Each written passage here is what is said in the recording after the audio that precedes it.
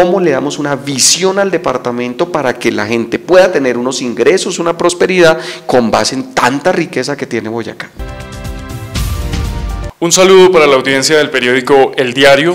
El día de hoy estamos con Alejo Gutiérrez, candidato a la Cámara de Representantes por Boyacá, Partido Verde 105. Alejo, bienvenido al periódico El Diario. Gracias Felipe, a usted, a todo el equipo del diario y a los miles eh, de televidentes que lo siguen y que estoy seguro que han seguido todo este mes de trabajo juicioso de ustedes para tomar una muy buena decisión el próximo domingo. Gracias Alejo. Alejo, cuéntenos eh, de usted sobre sus orígenes, ¿de dónde es Alejo? Bueno, yo crecí en Sogamoso, eh, allí pues tuve, fue un gran privilegio, Felipe, que debieran tener muchos jóvenes boyacenses y es desde pequeños poder decidir a qué dedicarse. Yo estudié en una pequeña escuela pública de Sogamoso, éramos la primera promoción y allí mm, me dieron la posibilidad de ser representante estudiantil y me enamoré de esta profesión. Me enamoré del servicio público, me apasioné pues digamos como, como del escenario de defender una comunidad, de representarla. Por esa razón estudié derecho y bueno, todo lo que he hecho en mi vida de de allá hasta acá ha sido para ser un buen servidor público. Soy hijo de maestra, además pues fue mi profesora, hice los cinco años de colegio en la ruralidad colombiana y, ninguna escuela de los cinco años de primaria con agua o luz, es decir, eh, cuando a mí me hablan de las dificultades del campo colombiano, realmente sé de lo que me están hablando, soy esposo eh, y padre y, pues... Eh, responsable de liderar algunas oportunidades que me ha dado la comunidad boyacense, la comunidad sogamoseña, y acá estamos juiciosos. He participado en elecciones también, y bueno, sé que es un mundo difícil, sé que la política tiene cansadísima a la gente realmente, el lazo de confianza que había entre los políticos y los ciudadanos está roto, y en ese escenario, pues eh, estoy llegando a este punto de mi vida para pedirles a ustedes que consideren mi nombre para representarlos en el próximo Congreso de la República. Eh, Alejo, usted ha estado involucrado desde joven en el ambiente político. Desde los 11 años, usted estuvo en, en el Consejo Estudiantil. Cuéntenos cómo fue eso. Bueno, estuve eh, como representante estudiantil, eh, rápidamente les cuento, mi profesora de socios, yo no tengo ni antecedente político, ni tenía en ese momento ninguna intención, ni mi familia. ¿Antecedente de familia? Sí, de familiar. Eh, en ese momento cuando tenía 11 años y se abren las elecciones para representante estudiantil. La profesora me pide el favor ante la inscripción de una sola candidata, pues que acompañe el proceso como candidato, termino inscribiéndome como candidato y, y Felipe gané esa elección por un voto. Y ese voto de ese niño o esa niña que me dio su confianza en ese momento cambió mi vida. Por eso hoy estoy seguro de que un voto de ustedes, el voto de ustedes, uno solo, cuando uno dice, no, pero es que un voto, mire, un voto puede realmente cambiar la vida de una, de una persona, de una sociedad, de una ciudad. Barack Obama decía que una voz puede cambiar el mundo. Y yo sí creo eso y los animo eh, a que suceda eso. Lo que pasó después es que los eh, estudiantes de ese momento en Sogamoso me dieron la posibilidad de ser alcalde juvenil de Sogamoso. Y allí empezó toda una vida pública. Por esa razón, cuando tenía 12 años, 13 eh, fui alcalde juvenil de Sogamoso. Y a partir de ahí, pues siendo alcalde juvenil, estuve nominado al Premio Nobel de la Paz, Felipe de Noruega, eh, y desarrollando trabajos con el Movimiento Nacional de los Niños y las Niñas por la Paz en ese momento, luego el Movimiento de Jóvenes por la Paz, con UNICEF, con Red de Paz, y allí pues mm, desarrollé esta, esta área por una mejor sociedad que es lo que les dejo como garantía. Mire, en primer lugar, cuando uno tiene 12 años, Felipe, y decide qué hacer en la vida, no sueña con robarse nada ni con hacerse multimillonario a costa de los impuestos de la gente. Uno sueña con un mundo mejor, con una sociedad en paz, con que no haya pobres, con que el agua esté limpia. Y eso es lo que ha construido en mí una personalidad política. Desde ese momento hasta ahora ya han pasado 24 años. Desde que usted tenía entonces 12 años, eh, comienza la dinámica social, la dinámica política. Háblenos sobre eso de la nominación al Nobel. ¿Cómo fue eso? ¿En qué momento exactamente fue eso? ¿Cuántos años tenía cuando lo nominaron? Algunos de ustedes deben recordar que en el año de 1998 se hizo un ejercicio que fue un mandato por la paz. Eh, quizá ustedes estaban muy jóvenes, pero fue una mm, papeleta adicional que se dio en las elecciones presidenciales, en donde más de 10 millones de colombianos eh, aprobaban que se buscara la paz en Colombia. Nosotros, como jóvenes en ese momento, impulsamos algo que se llamó el mandato de los jóvenes por la paz y participaron 2.700.000 jóvenes. En ese momento yo era alcalde juvenil y coordinaba buena parte del proceso. A UNICEF le pareció buenísimo, nos impulsaron de tal forma que nos postularon. Eh, Ramos Horta, un Nobel de Paz, nos postuló ante el Comité Noruego eh, de la Paz por esta actividad que hicimos nosotros en, de los jóvenes por la paz en Colombia. Qué interesante. Eh, Alejo, háblenos ahora de su academia, de sus estudios. Bien. ¿En dónde estudió? Pues, eh, estudié en la UPTC, estudié en la UPTC Derecho.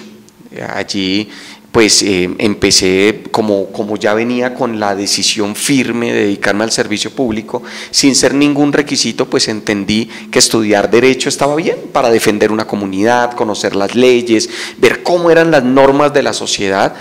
Mm, luego adelanté unos estudios en la Universidad Santo Tomás en gobierno y gerencia territorial y luego en el Instituto Superior de Administración y Desarrollo de Madrid, eh, una maestría que se llama Dirección del Desarrollo Local. Es decir, Derecho, Gobierno, Dirección del Desarrollo, todo apuntándole a cómo le damos a este departamento una visión de desarrollo mm, que la ha enfocado en el cuidado de, su riqueza natural. Y eh, pues me he dedicado a escribir también, Felipe. Me contaba que eh, es que es autor de dos libros. Sí. Uno sobre migración y el otro sobre medio ambiente que salió hace poco. Así es. El de migración se llama Se fue y no volvió.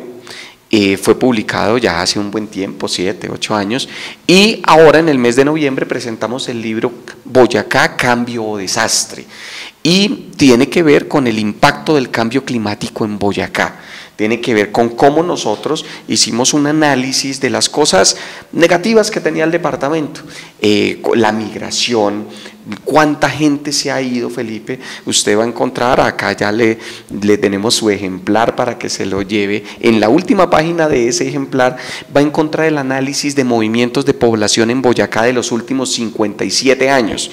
Cada municipio de Boyacá, cuánta población ha perdido, y algunos cuánta población ha ganado, pero la mayoría absoluta es cuánta población ha perdido, cómo están las cifras de pobreza en Boyacá, eh, cómo está la, vulnerabilidad frente al cambio climático, eso lo, lo tenemos en el libro.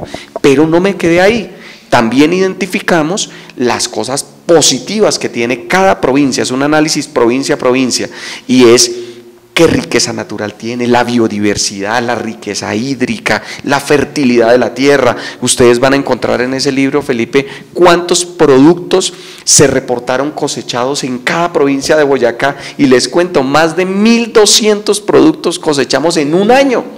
Esta es una tierra con una riqueza enorme, los atractivos turísticos, las rutas de senderismo, em, un montonón de cosas para llegar a una paradoja y es cómo en esta tierra tan rica, la gente se va porque no tiene trabajo. La gente se va porque los negocios no funcionan. Conseguir ingresos es muy difícil. Algo conversábamos antes de la entrevista. Y entonces me he propuesto eh, como candidato a la Cámara asumir este reto y ojalá y si ustedes lo deciden como representante a la Cámara, es cómo le damos una visión al departamento para que la gente pueda tener unos ingresos, una prosperidad con base en tanta riqueza que tiene Boyacá. Alejo, entremos ya, digamos, a sus propuestas. Eh, una de esas es la generación de ingresos, la generación de ingresos, los proyectos de ley, el campo. ¿Qué tiene usted para decirle a la audiencia sobre ese tema en especial? Una profunda preocupación que siento que compartimos, Felipe, y es las dificultades que tienen nuestras familias para tener ingresos. Hay muy poco dinero circulando en Boyacá y el precio de la comida está carísimo, el precio de la canasta familiar, estamos asumiendo unos costos eh, a veces frente a impuestos injustos, eh, muchas cosas que están afectando, golpeando, golpeando y que tienen problemas a miles de familias en Boyacá. Miren, en la pandemia se cerraron 509 mil pequeños negocios, Felipe. Y esto es un drama.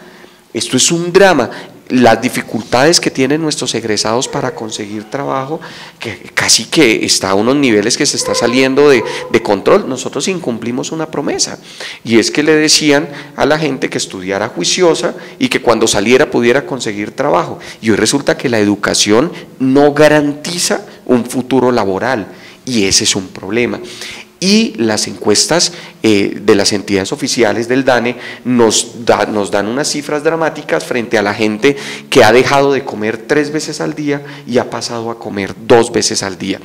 Ahora nos enfrentamos con una crisis internacional que han llamado la crisis de los containers, con un precio del dólar escandaloso, eh, con unos tratados de libre comercio que van a afectar a los ingresos boyacenses. Por ahí unos líderes políticos andan diciendo que ojo con el 22, ¿se han escuchado? Pensando en que lo más importante son las elecciones de este año. Y resulta que no, yo he planteado ojo con el 26, queridos boyacenses. ¿Por qué? Porque en el año 2026 se acaba el plazo para eliminar los aranceles de la leche importada de Estados Unidos por el Tratado de Libre Comercio que ya está firmado. Y yo quisiera estar en el Congreso de la República, que es donde se van a hacer estos debates, para levantar mi voz y no permitir que se quiebre a miles y a miles de lecheros en el año 2026. Eso es lo que vamos a elegir el próximo domingo, si nuestros congresistas van a hablar o no van a hablar. Y si van a hablar, si van a defender sus intereses personales o los intereses de la comunidad. Por eso, los ingresos son fundamentales. Necesitamos generar más ingresos, eh, más recursos eh, en, en dinero circulando en Boyacá. Y eso se consigue dándole una visión al departamento. Yo estoy convencido que nuestro departamento es un departamento turístico y debe ser un departamento ecoturístico, que en millones de turistas nosotros vamos a encontrar una fuente de recursos como la que hoy tiene Italia, México, Perú en torno al turismo gastronómico. El 84% de la gente que va al Perú dice que va por el turismo gastronómico y nosotros tenemos una riqueza enorme. La gente que va a México, la gente que va a Portugal en su mayoría va por el turismo religioso. Y nosotros tenemos acá a Nuestra Señora el Milagro del Topo en Tunja, tenemos a Nuestra Señora Morca en Sogamoso. Eh, la Basílica de Chiquinquirá es una de las más importantes del planeta. Eh, ¿Y cómo es que nosotros no vamos? Claro que podemos generar una visión de desarrollo. Lo que pasa es que necesitamos primero plantearla. Si yo le planteo a ustedes, eh, ¿Para dónde va Boyacá en los próximos 10 años? ¿A qué le estamos apuntando? ¿Cuál es el modelo de desarrollo? Y no lo tenemos claro.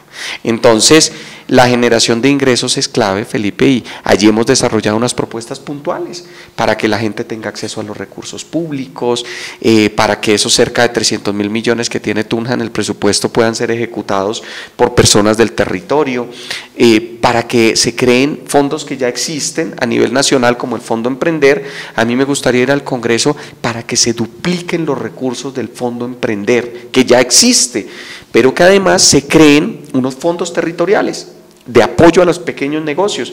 Es decir, que una partecita de los eh, recursos que tiene el municipio y los departamentos se pueda destinar para el apoyo de iniciativas de negocio y eso me parece muy importante. Y que las empresas nuestras, las grandes y las, y las medianas, puedan participar en los procesos de licitación de los recursos públicos eh, en condiciones favorables. Acá ¿cuánto no ayudaría que esos cientos de miles de millones de pesos se quedaran en Boyacá circulando? Claro. Bueno, al lado de eso está el medio ambiente. Boyacá es una tierra privilegiada, aquí tenemos de todo. Eh, usted habla sobre el cambio climático, usted es un defensor de la tierra. Sus propuestas eh, sobre ese tema en específico que deriva en el, en el tema turístico en Boyacá. Eh, ¿Cuáles son?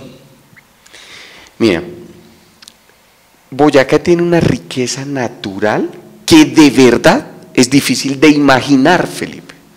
Mientras en el mundo estamos ya viendo países y conflictos por agua dulce, nosotros tenemos una reserva de agua dulce de 2 millones de metros cúbicos en el lago de Tota.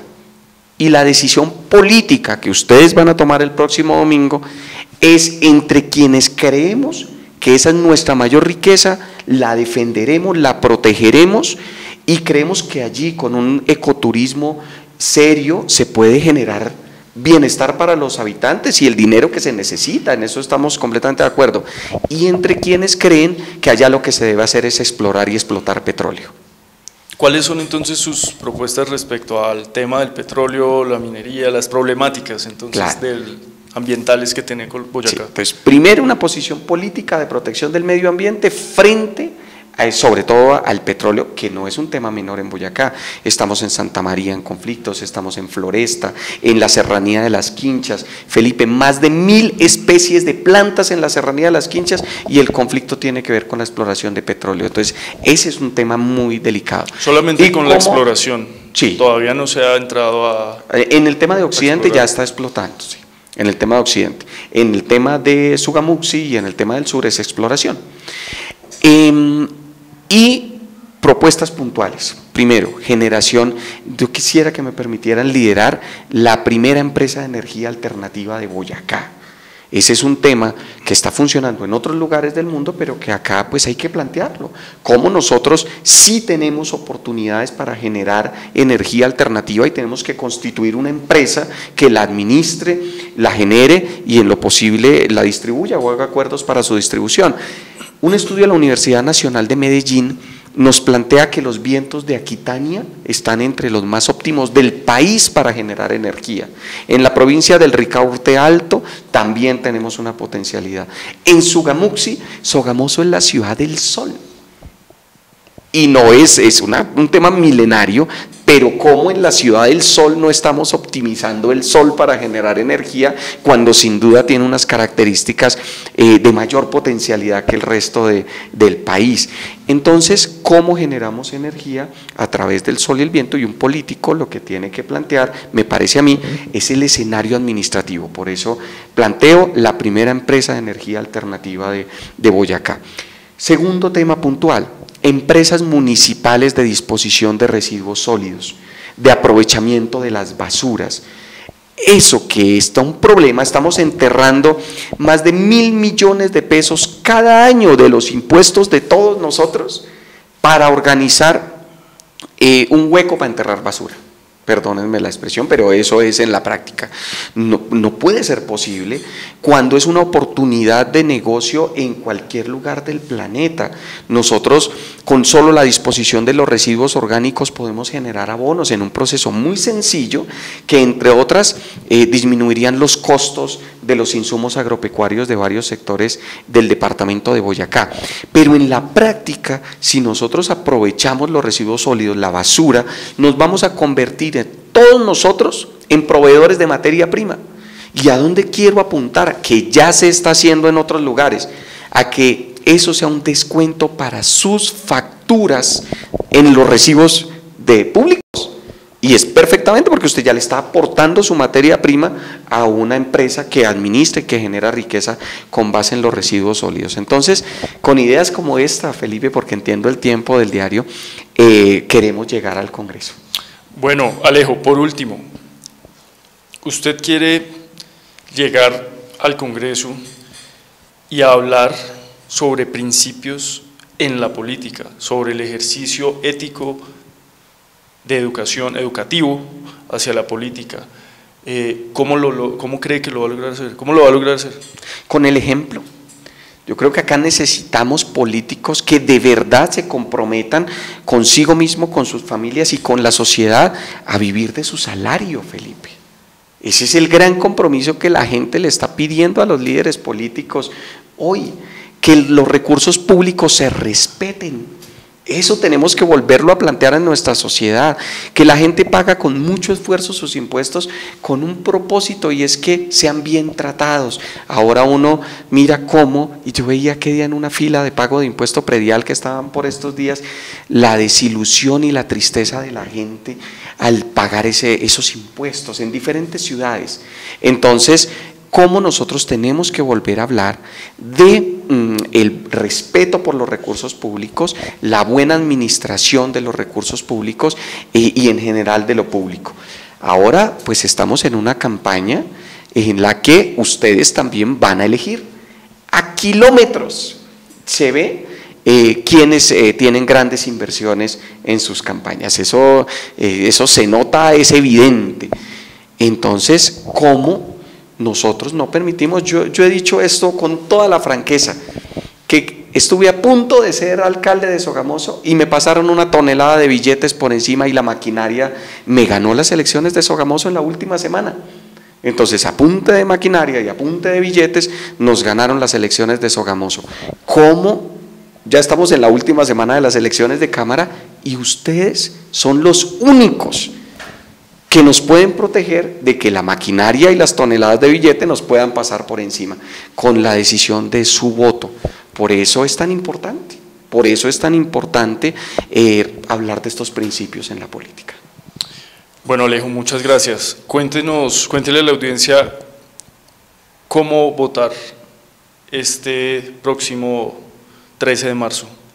Bien, pues nosotros eh, estamos haciendo un equipo con el senador Jorge Londoño, queriendo eh, levantar las banderas de la decencia, de la dignidad, del respeto por lo público, por los recursos públicos, y estamos en el Partido Verde y nos encontramos alrededor del número 5. Para el Senado, eh, el senador Londoño es verde 5 y para la Cámara es verde 105. Eh, de esta manera, recuerden que no va a haber ni fotografías ni nombres, ustedes solo van a encontrar el listado de los partidos y los números en los tarjetones y espero que lo recuerden. Verde 105 y verde 5 si eh, se identificaron con algunas de las cosas que conversamos hoy, Felipe. Bueno, Alejo, muchas gracias. Y a toda la audiencia del periódico El Diario, no olviden seguirnos en nuestras redes sociales, Twitter, Instagram y Facebook.